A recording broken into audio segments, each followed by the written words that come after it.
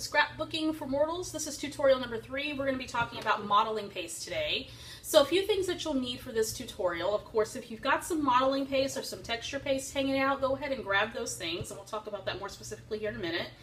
Um, you also want to grab something to protect your work surface, as well as a few pieces of paper, whether it be some extras that you have in your stash um, or some scraps that you have as well as some sort of applicator that you can use with the modeling paste.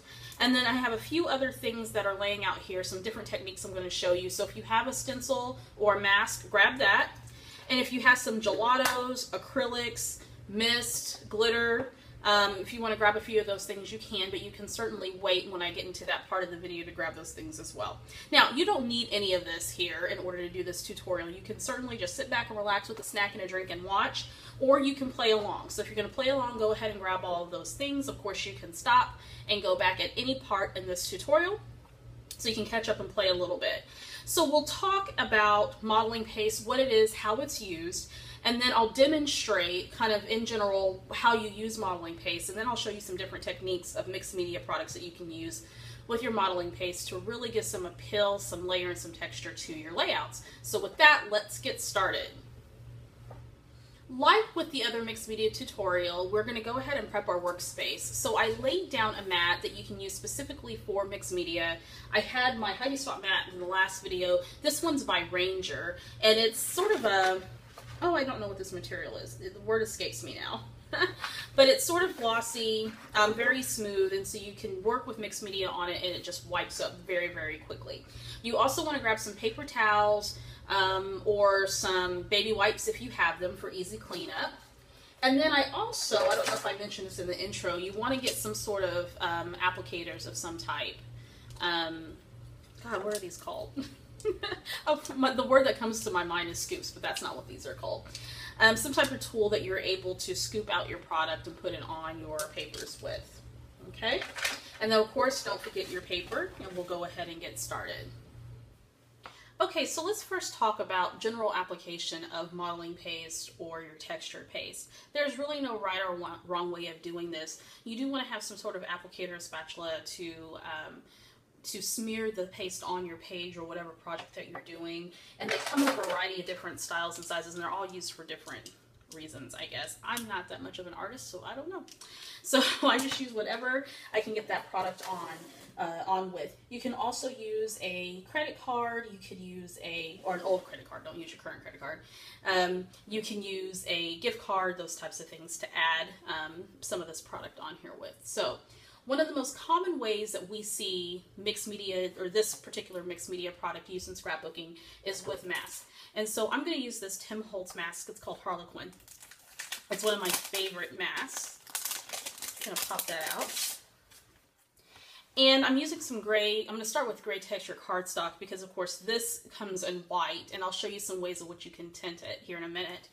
But you simply just position your mask where you want it on the page. Like with misting, you do want to be mindful of where on your page you want your photo.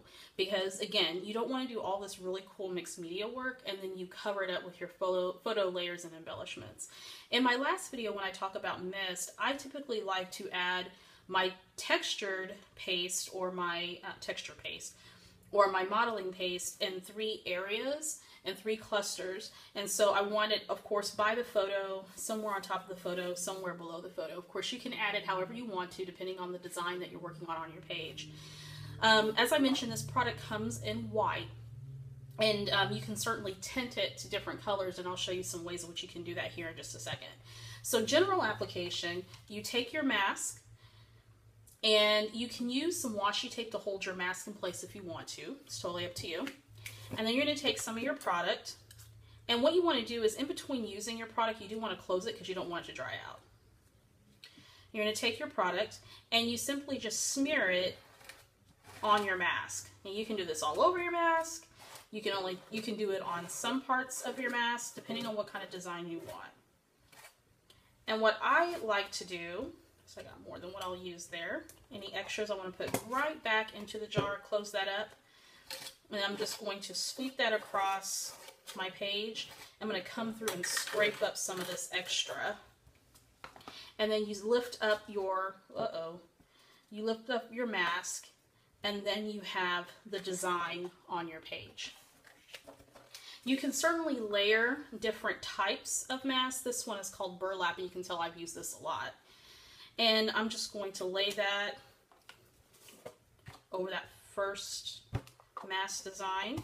Now, you do want to wait for it to dry a bit before you start layering other mixed media products on it. Or maybe you want to put a different design of a mask on there. And again, I'm just sweeping that product across the mask.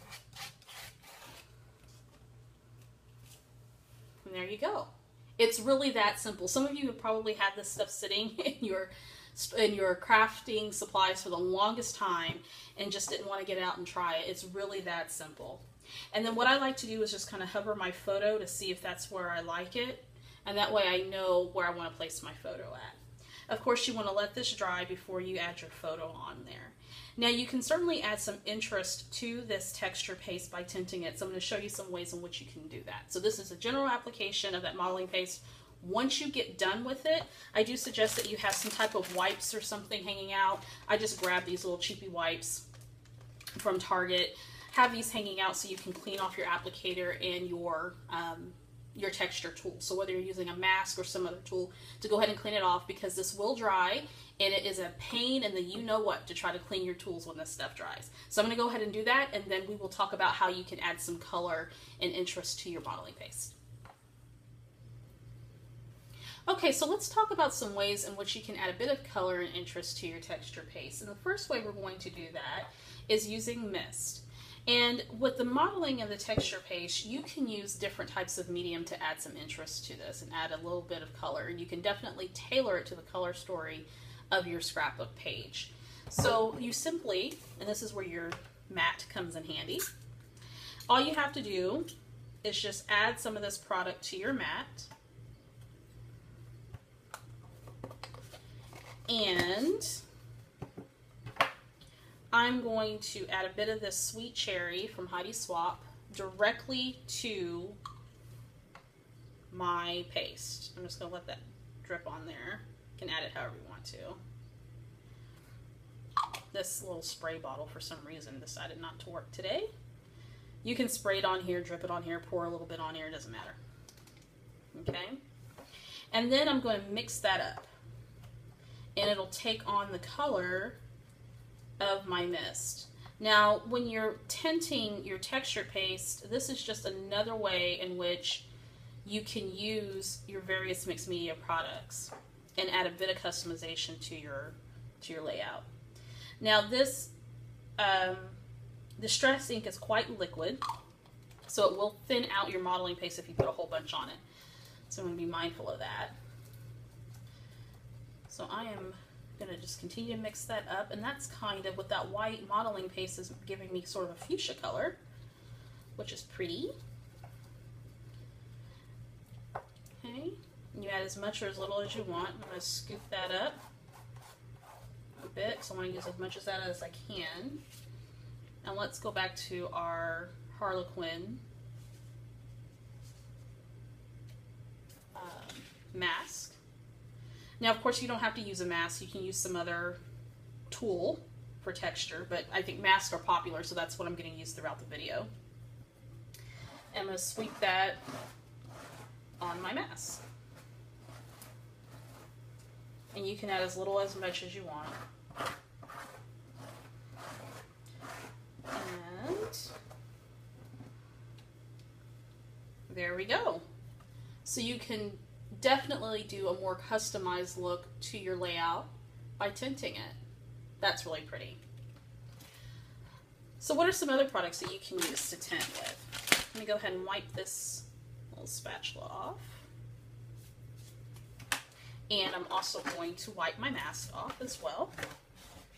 And your mask, depending on the product, might get stained, but hey, that's okay. Because the idea is that we're going to be using these things over and over and over again, getting a lot of value out of the tools that we already have.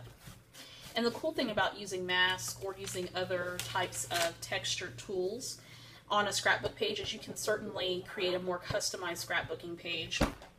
It'll save you money, particularly if you like patterns and stuff And you can use some of this textured paste here to add a lot of um, depth to your page. Depth. TH. Um, to your page and certainly some really pretty texture. Alright, so we've cleaned off our tools. Now, another way that you can add a bit of tint is with acrylic paint. Now, the texture paste or modeling paste has an acrylic base. It's an acrylic based product, so it definitely mixes well with acrylic paint. So I'm going to add some texture paste onto my work surface here. Again, we're protecting our work surface. And then I've got this little acrylic paint from Fine Touch. It comes in a set of like 20 or something like that. Um, you don't have to go out and buy expensive acrylic paint to do this. Just buy some beginner grade, grade paint. And I just simply added that to my product. And now I'm going to mix it up. And that color is called Cobalt Blue. I'm saying it looks, I was trying to remember what it was called. okay. So again, taking on the color like with our um, mist, taking on the color of this acrylic paint. And that's really pretty. I'm going to take my Harlequin pattern here. And you can certainly layer colors and layer patterns using this technique, so that's really that'd be really fun. I'm just going to add that on here. Again, being mindful of your photo placement because you're going to do all this beautiful mixed media work and you don't want to cover it up in, in its entirety. And you can use a thin spatula, a wide spatula like this, depending on the effect that you want to get or how much coverage you want. Alright. There you go. So that's using acrylic paint. So again, very pretty. That kind of came out to look a bit more purple than it did blue, but that's okay. Can add as much as that of that acrylic paint as you want. Again, cleaning off your tools as you're going along. And I'm just using some really inexpensive baby wipes to do the trick. You don't have to go and buy anything that's going to break the bank. Alright, so let's get that all cleaned off. Dried up. Might want to have some paper towels hanging around. Alrighty, another way that you can tint is using some gelatos. So I'm going to grab a few of my gelatos here. How about we use this blue gelato? Now, gelatos are, um, you've probably seen these in a lot of scrapbooking, on a lot of scrapbooking pages or scrapbookers using this. And this is an, um, an acid-free pigment stick. And it glides on really, really soft. And so you can use this in addition to your texture paste to tint. So you can do a couple of different things. You can chop off a bit of this text of this uh, gelato and add it to your texture paste, and you will have to mix it pretty um, vigorously, or not. Maybe that's not the word. You'll need to mix it long enough so that um, that little piece that you chopped off sort of melds with that modeling paste. You can also just add it to your mixed media mat, or whatever matte surface that you're using. You can certainly do this on an acrylic block if you don't have a mat. That's another option. You don't have to go out and buy a mat just for this. So I'm going to take some of that product. I'm going to put that right directly on that gelato that I put on there. Maybe I want to add just a little bit more. Color my page a bit. And I'm going to go through and I'm going to meld these two products together. And I like um, adding that gelato on my page, just sort of cut, or no, on my um, mixed media mat, because then I don't have to mix it as long as if I cut a chunk of it off. So that gives me a pretty light blue there. Let's see if we can add a bit more dark to that. A little bit more. Otherwise you might not see it. There we go. You just want to mix that in. And that takes a little bit longer to do, but that's okay. That's going to come out kind of light, but that's okay. You can add as much or as little as you want. And then you're going to come back with your stencil. Now if you're doing this layering, you do want to be mindful of drying time. And I'm going to add that onto my page That kind of came out a pretty baby blue.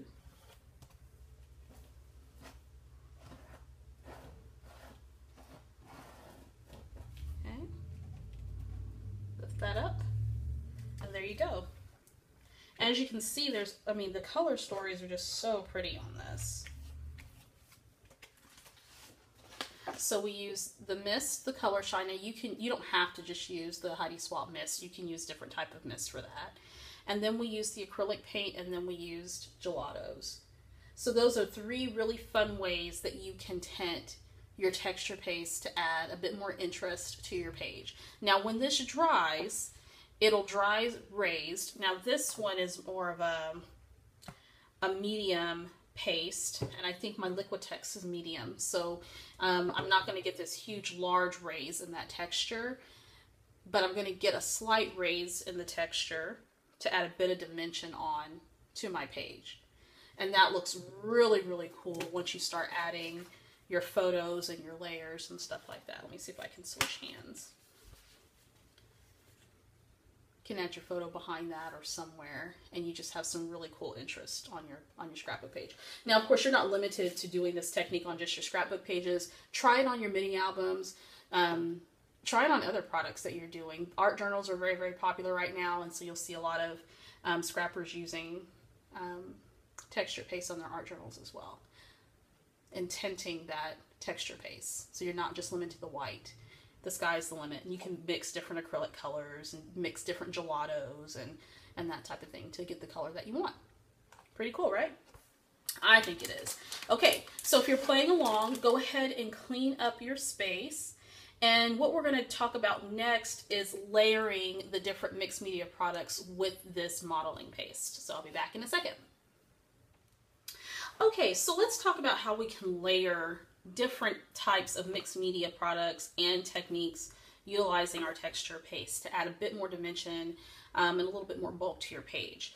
A technique that I do quite often when I'm doing mixed media pages is I'm going to layer not only my modeling paste, but I want to do a bit of stamping as well as use some of my mask and a bit of my mist to add a bit of interest to my page. So essentially what you want to do is you want to build from the bottom up. And I think the way that I want to start out with this layout, this layout is I want to spray a bit of mist on my page. So that'll be a, a, layer number one. Now you can start out with stamping if you want to. Um, you can do a lot of different things, but I'm going to try doing the misting first, or I am going to do the misting first. So let me actually get a mister that works, because this one may not work. Let me grab um, a color that's a little bit lighter. How about some of this primrose? So what I'm going to do is I'm going to add some mist, and I think what will probably be best. And I didn't have it out I was preparing.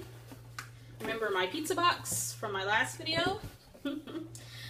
that way I don't mess up my work surface. So I put that in here.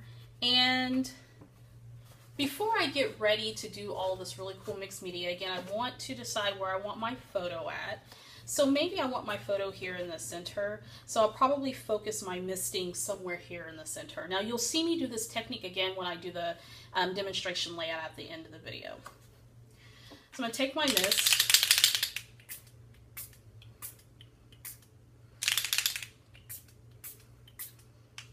Okay. And I'm going to spritz that on there. And using some more of the techniques that I showed you, I'm going to go ahead and do some splatters as well. Add some some more interest. Well, if it'll come out. I mean, come on. Here we go. Doesn't it know I'm trying to do a demonstration? and of course, the way that it sprayed out, it went ahead and added some, it kind of sprayed some different splatters on the page too, and that's okay. Again, mixed media is not a perfect science. It doesn't have to be. Spray a little bit. See, it's going, it's making those little bubble sprays. Okay, so I'm to do that. Now I'm done with that. Now I want to add the next layer. Okay, and then we'll get to that modeling paste. You can see how impactful that looks on the page. So move my box out the way. Okay, so that's layer number one. Now you've already learned how to use mist, so that's pretty simple. The next thing I'm going to do, and I will do a separate video on stamping, but this is one way that you can use stamping along with your mixed media. So I'm going to move that to the side. I'm going to take this big stamping block, and it just has different text on it. I'm going to use my VersaFine. And I want to add a bit of text on the back, but also another added layer of interest. So I'm going to add some ink to this stamp. And I'm going to stamp it various parts of my page. So you already see how cool that looks just by adding the mist. We haven't even gotten to the texture just yet. Maybe I'll do it over here. Again, this is not a perfect science, okay? Um, using mixed media, it's supposed to look messy. It's not supposed to be linear. There's some beauty in the messy. Put that back there. Now I'm ready to add some of my texture paste and I'm going to use my burlap stencil and I think I want to do a bit of texture up here, here, and here at the bottom. So let me start up here. Now I certainly could have tinted my texture paste if I want to. I think for this one, since I've got that pink in the back, um, maybe I want to add a little bit of color, maybe I don't. And you know what, I think I am just a, well no, no I'm not. I'm just going to use the white on there for now. So I'm going to apply my texture paste. And there's no, again, no perfect science. You just add it to the spots where you think will add some visual interest. And I'm going to apply it over here. Maybe I should have tinted that. I'm not sure if you can see it. You probably can see it. Things look different when you're actually filming on your preview screen then it will show up, then it'll appear on the actual video. And then I'm going to add a bit of texture right here.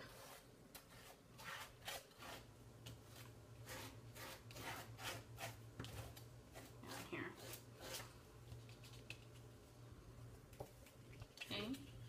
And then that way, when I bring my photo back, that gives a lot of visual interest. And you, again, you want to be mindful of photo placement.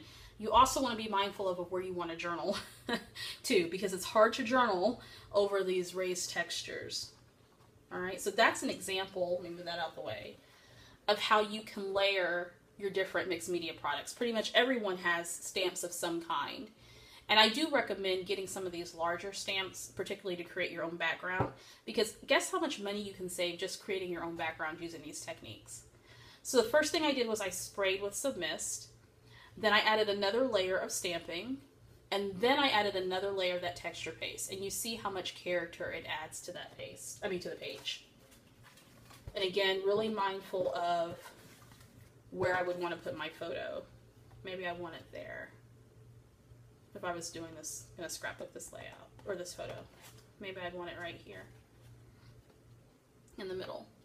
There are a variety of different techniques that you can use, just using stuff simply around your home or around your craft desk that you can use to add interest to modeling paste. Um, we all have washi tape, so washi tape can be used to create different patterns. So let's check that out. So I'm going to take some washi tape just to do some really simple, a simple, simple pattern. Just to demonstrate. So I'm going to take my textured paste. And I'm going to adhere that on here. Adhere it. I'm going to apply it.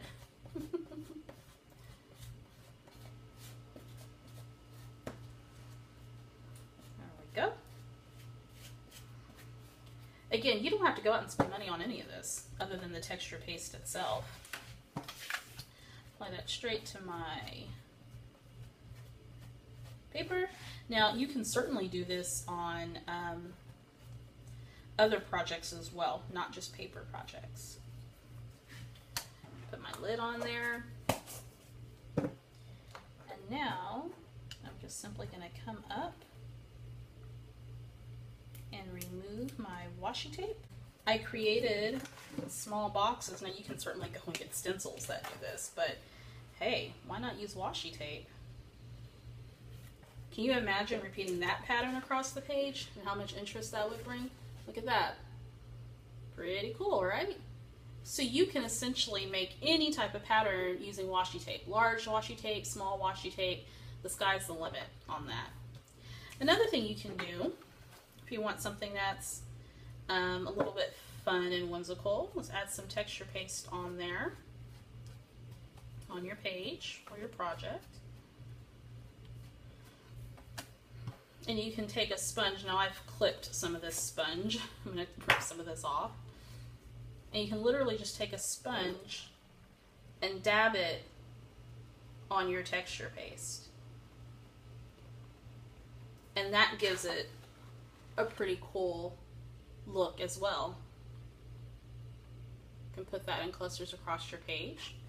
So that's one technique and you just keep dabbing and dabbing and dabbing. And that'll dry and that'll give you some really awesome texture. How about taking some of your texture paste and wipe that on there. And we all have some tool that has a pointy edge in our arsenal. I'm just going to use this little Sizzix tool. And you can essentially just scrape it across your texture paste to create a design of your own. And when that dries, it'll look pretty darn cool. There you go. Another way that you can use that texture page. You can add um, more geometric designs. Some of you are probably thinking, looking around your scrapbook room right now, looking for tools that you can use to texturize with. Maybe I want to do some geometric lines across my page or on certain aspects of my page. So or whatever project that you're working on. Oh, that's not baby white. That's washi tape. Clean that off. So there's another way you can add a bit of texture there. So all I simply done was found some different things that I already had. Oh, washi tape. Where my oh here is washi tape. Different things that I already had in my stash to create some texture on my texture paste. It's really not that hard. You don't have to spend any extra money other than what you pay for that texture paste. You can certainly make your own texture paste. There's a lot of YouTube videos and stuff out there. But again, I, I tend to like to buy the stuff that's on the market. But you can create all this interesting texture. And when it dries, it adds a lot of height to your page and a lot more dimension to your page. And you can design any type of background that you want. And so you're maximizing the product and saving some money on the things that you buy by creating your own your own textured backgrounds. So you're probably thinking to yourself, can I do this? Yes, yes, you can totally, totally do this. And in fact, if you've been playing along, you have been doing it. You've already taken the first step. All right, so I'm gonna get this all cleaned up and then I'm going to make a layout using um, texture paste and a few other little techniques that I showed you today. So I'll be right back. Okay, so now I am going to make a layout using um, some Heidi Swapp papers and embellishments. So everything I'm going to use on this layout is from Heidi Swapp, including the mist. And the picture that I'm going to scrapbook is this photo of me and my mom. And this is a photo I've been wanting to scrapbook for quite a while. And the idea that I have in mind for this layout is to position the photo somewhere here on my page. And I'm going to do some mixed media that's going to kind of come down and towards the side here in an L to cradle the photo. And then I'm going to do some mixed media up here as well. And my title is going to go down here, which is going to be called Lovely Smile because I just love my mama's smile. Who doesn't love their mama's smile? Alrighty, so I'm going to go ahead and prep my paper. Now, the Heidi Swapp paper pack that I got is actually pretty thin, this, this particular paper, and I think it came in one of those kit bundles that I got like at Michael's or something like that. So I'm going to take my adhesive and I'm going to use just some cardstock paper. Let me set this to the side. Is when you work with mixed media, it's very liquidy and wet, depending on what it is that you're using. And this paper will get pretty warped in certain sections once I am done putting all the stuff down on the paper. So that is the mist that I'm going to use, and of course the modeling paste, which is what this tutorial is about. So I'm going to go ahead and get that backed up and then I'll be ready to put some product on it. I'm getting the, the edges real good. There we go. Now, depending on the type of cardstock that you're using for your base, you may not have to do this. But it's never bad to back it on a coordinating piece of cardstock. So let me see if I can get this good. The last time I attempted to do this, it didn't do well. the paper got stuck and I had to reposition it and it just didn't go all that great. So let me try it here. Get that lined up. And in fact, I'm going to get this lined up and when I come back, we'll get started. All right, so now I've got my paper adhered to that cardstock to add a bit more structure to it. I'm going to go ahead and start with my mixed media. So let me grab my box, my pizza box here, and stick that in there. And if you notice, this paper has somewhat of a starburst pattern to it. If you can see, it's very faint. And it's perfect for this type of um, technique that I'm doing. And I think that I want to stick with my burlap stencil, but we'll see. I'm going to use two colors. I'm going to use Teal, and then I'm also going to use this Butter by Heidi Swapp. So the first color I want to spray is the, is the Butter. I'm going to spray it right over here in that section. I'm going to spray it here. I'm going to come back with the Teal. I'm going to do a little bit of, oh, that's not going to, that's going to be a little bit too dark, I think. I think with the Teal, I'm going to come back and do some splatters over here. I think that's what I'll do here. Because I don't think that's going to spray the way that I want it.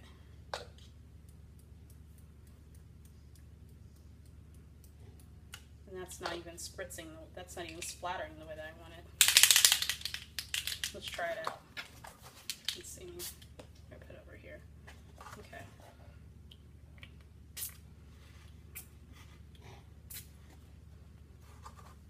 Okay. Sometimes you got to play around a bit to get what you want. All right, so I'm gonna bring my photo over good. Alrighty. So next up, I want to add some of my modeling paste to this. And I want a lot of that texture to go here, here, and then right over here. But before I do that, I want to do some stamping. So I'm going to grab this little text stamp and to that Let's see, what color ink do I want? Do I want black? Hmm. I think I'm going to do navy blue. Because I think black might be a little bit harsh. So I'm going to use my Stampin' Up! Night of Navy. This has been a very fun color for me. I'm going to stamp a little bit of ink on there. Let's start up here. Because this Heidi Swapp um, collection has a lot of navy blue in it. I'm just gonna put that here, and here, and then some over here. So that looks fine to me.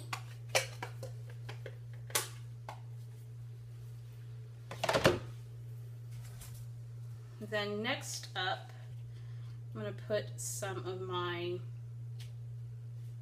modeling paste. And I actually, I've had some time between filming the first part of this and the second part. I went and picked up some new modeling paste. I have a brand new fresh jar that I'm going to use. so let me get that out.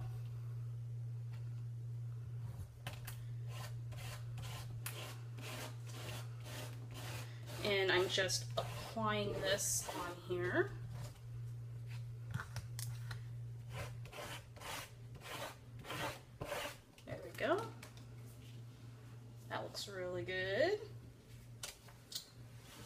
over in this section here.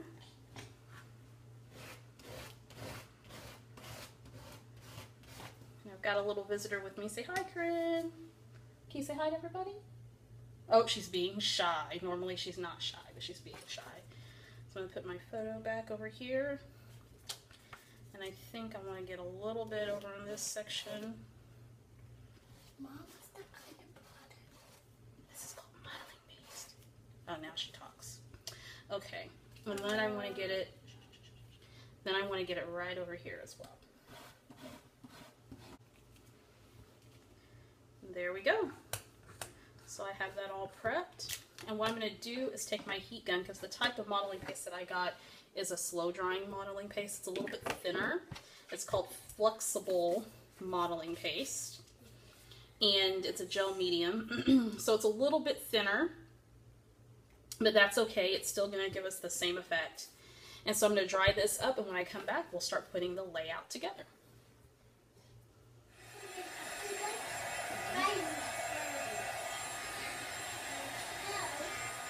All right, and so now I've got everything all dried up and we're good to go. Okay, go ahead and say hello, Corinne. Hello. there we go. All right. So I'm going to go ahead and position my photo. And as I mentioned before, when I use mixed media on a layout, I want to be able to see all that beautiful mixed media, and I certainly do. I see all the texture of the modeling paste and all the mist that I did, and it goes really pretty with the photo. So I'm thinking that's kind of how I want it. So what I'm going to do is I'm going to go ahead and speed up the video so you can watch me get the layout all together and then I'll show you the finished product. And as you can see, even while layering, you can still see a lot of the texturing and the misting that I did. And it just brings so much interest to the layout. Okay, so I'm going to speed it up and I'll continue to narrate and then I'll slow it down and walk you through the page and we'll be done with this tutorial. Okay, so now I am going to go ahead and build my cluster. Now everything I'm using, and I think I may have mentioned this before, um, everything I'm using on this layout is from Heidi Swapp. And um, not only from her scrapbooking collection, but also her planner collection, and that's where those frames come from. Um, I purchased those initially to use in my planner, and then I just decided I didn't have a use for that in my planner, in my Heidi Swapp planner, so I'm going to put it on my page. And now I'm consulting my iPhone. I put this page together before I actually filmed this, and so I had to remember where I wanted to put everything. And there's that photo of my mom and I. And I, when I was doing this, I remember now I actually have scrapbooked this photo before. Um, but that's okay. I'll scrapbook it again. this is one of my favorites. So I am mounting, um, or I mounted the photo on some foam squares, and I'm putting a little bit of the foam squares behind that um, pink frame so that it'll stand up a bit. And I'm going to add to the top of that the gold frame. And I love clustering using frames and other um, scrapbooking embellishments, not just paper. And that's a good way to use up all those materials. Now I'm going to put a little banner there at the bottom, and I believe that's kind of like an acetate material. And you can barely see it, but it's noticeable on the page, but barely. And I'm going to start building some clusters and embellishing. So I'm going to add that little pink flower. And I don't normally work with flowers, but I do like that. And that's a chipboard piece that came um, with a set of chip chipboard pieces. I think I purchased most of this stuff at like Hobby Lobby or Michael's. No, it was Michael's, I believe. And also, I'm going to put some butterflies there and those are really fun to work with. I'm going to put a little bit of the adhesive foam squares on the back so those butterflies are going to stand up. And then I had a Heidi Swapp Project Life um, kit. And so the gold pieces that you see, that you're going to see, the star and some others come from that, that little kit. It comes with um, about, I guess, 48 cards or something like that, and plus embellishments. And then I add another butterfly there at the top and a button that has some little uh, beautiful sparkles.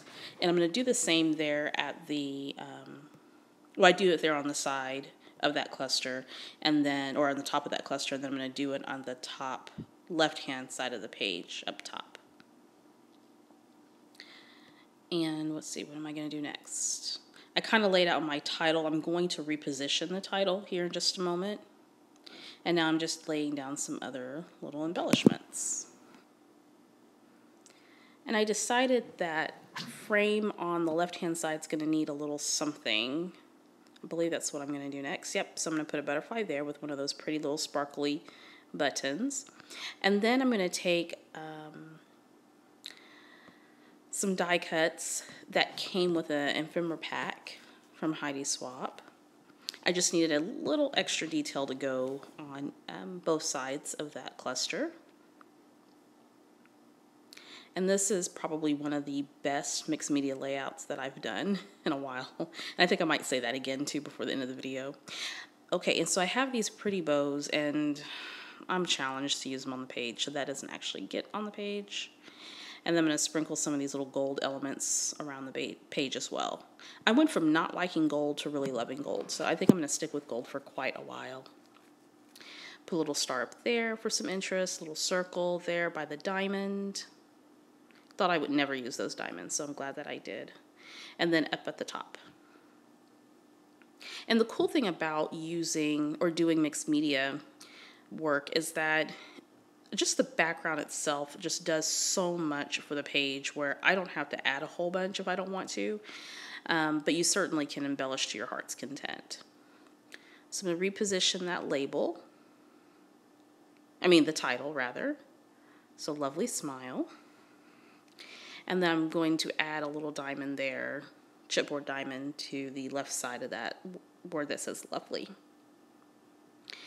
Then I decide to add some twine. I'm going to tie that in a bow up at the top.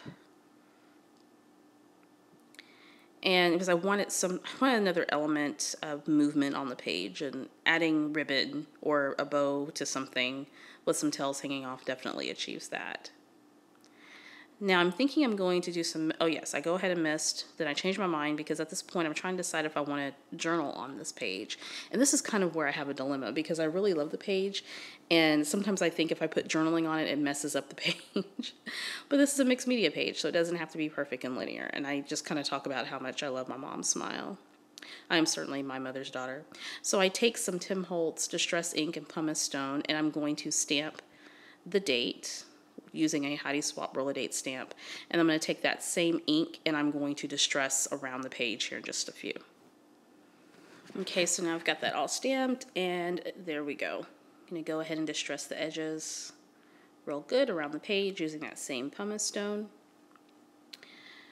And I'm liking it so far, and I think the finishing touch that I'm going to add to that is some mist.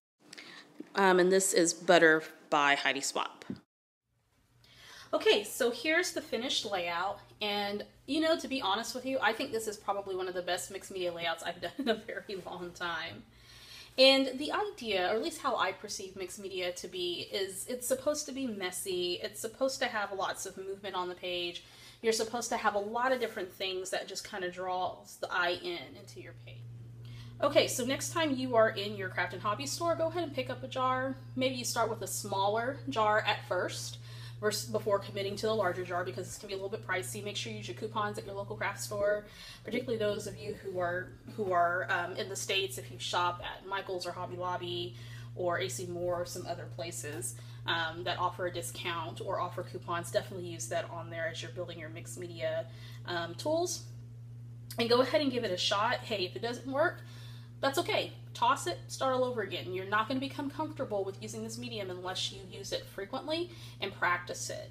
So if you have any questions, leave them at the comments uh, comment section below and I'll get back to you as soon as I can. Thanks so much for watching this tutorial and I think the next tutorial we have um, that's going to come up is stamping on your scrapbook pages. So I showed you a little bit of that today um, using this mixed media technique with modeling paste, but I'm going to show you how to stamp on your scrapbook pages to add some visual interest. So I got a lot of requests for that, so that is coming. So I see you guys next time. Have a great